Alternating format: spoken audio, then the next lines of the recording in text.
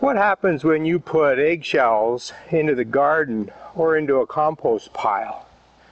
They seem to disappear and people put them in their gardens because they think they're adding nutrients for the plants. But do those eggshells really decompose? In this video, I'm going to show you a four-year experiment to see what happens when I put eggshells into my garden. I researched this topic a number of years ago, and I found that eggshells are really stable. When you put them into the compost pile, they're not composting. Now they do disappear and I suspect that's because we move the compost around and the pieces get broken up. The eggs are very brittle, but they never actually turn into nutrients for your plants.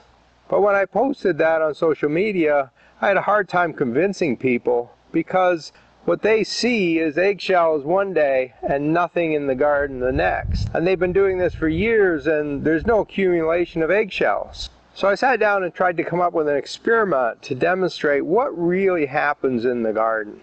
So I got a number of containers like this. There's a little plastic dish, has holes in the bottom and in the sides.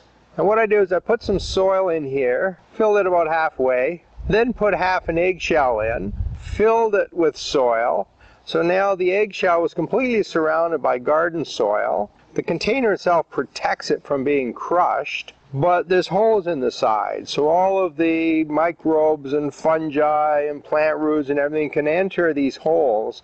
So the eggshell is fully exposed to the soil they would be in the garden.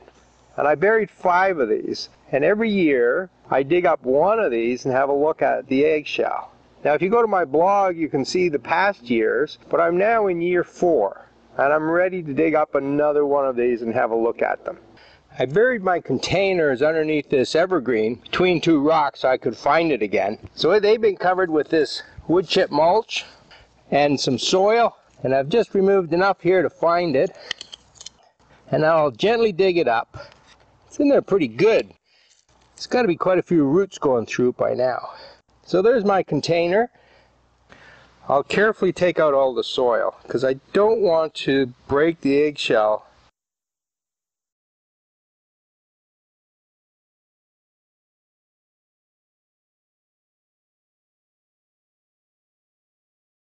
I can just see the eggshell there. So now what I'm going to do is just soak this in water for a while and let the water soften up the soil. Alright, it's been sitting for about 10 minutes and I've been slowly taking some of the soil off. And it's, it's ready to come out. Now you can see it has broken apart a little bit, but if I turn it over, this whole piece here is intact. Eggshells have an inner skin and that's made out of protein and that decomposes very quickly. Even after the first year in the ground that was completely gone. This outer shell is a very hard calcium compound, somewhat similar to your teeth, so it just doesn't decompose. Now I can't tell from this experiment that it's not slowly decomposing. It, it probably is.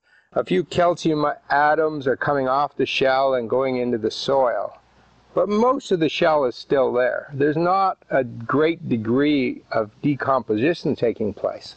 The calcium from the shell is certainly not helping your plants grow. The reason these disappear in the garden is because we move the soil around. And the more you move the soil, the more you break these into small pieces. And since our eyes aren't really very good, it doesn't take long before those pieces are the size of a sand grain, and in soil we just don't see them. They seem to disappear. The decomposition process does depend on the pH of your soil. My soil has a pH of 7.3, so it's slightly alkaline. If I had a very acidic soil, these would decompose faster, but I don't know how fast. I've never seen anyone do this kind of an experiment in very acidic soil. But if you have normal garden soil with a pH of 6 or higher, eggshells are not doing anything for you in the garden. If you enjoyed this video, you will also like my book called Garden Myths. In it, I look at common gardening advice and determine if it is really true. I cover such topics as Does beer really kill slugs? Can you use vinegar to get rid of weeds?